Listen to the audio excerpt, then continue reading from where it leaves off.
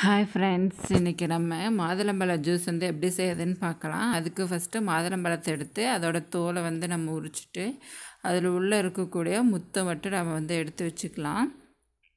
அடுத்து இந்த மாதுளம்பழ ஜூஸோடைய நன்மைகள் என்னென்னு பார்க்கலாம். இந்த மாதுளம்பழ ஜூஸ் வந்து நம்ம தொடர்ந்து குடிச்சிட்டு வந்தோம்னா நம்ம ரத்தத்தில் இருக்கக்கூடிய ஹீமோகுளோபின் அளவு வந்து அதிகரிக்கும்.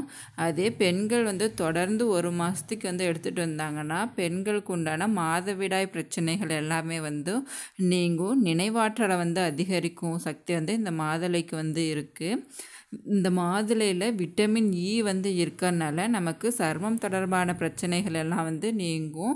அது வந்து முடி வந்து நல்லா வளரும். இந்த மாதுளம்பழ ஜூஸ் வந்து குடிச்சிட்டு வந்தோன்னா நமக்கு கொலஸ்ட்ரால் அளவு வந்து குறையும். ரத்தத்தில் இருக்கக்கூடிய ரத்த சோகையை வந்து குணப்படுத்தும்.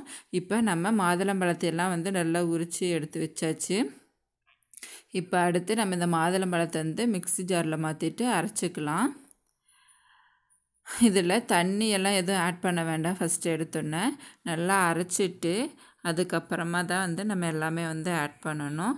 தண்ணி ஃபஸ்ட்டு ஆட் பண்ணிட்டிங்கன்னா அந்த இது வந்து நல்லா அரைக்காது. அதனால் ஃபஸ்ட் எடுத்துனே முத்து மட்டும் போட்டு நல்லா அரைச்சாச்சு இப்போது நம்ம சுவைக்கு ஏற்பு சர்க்கரை வந்து ஆட் பண்ணிக்கலாம். உங்களுக்கு சர்க்கரை எவ்வளோ தேவையோ அந்த அளவுக்கு வந்து ஆட் பண்ணிக்கோங்க.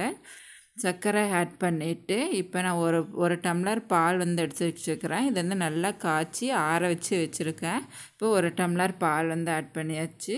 அப்புறம் நமக்கு தேவையான அளவுக்கு எவ்வளோ தண்ணி வேணுமோ அந்த அளவுக்கு தண்ணி வந்து ஆட் பண்ணிக்கலாம். தண்ணி ஆட் பண்ணிவிட்டு நல்லா மிக்ஸ் பண்ணிக்கோங்க.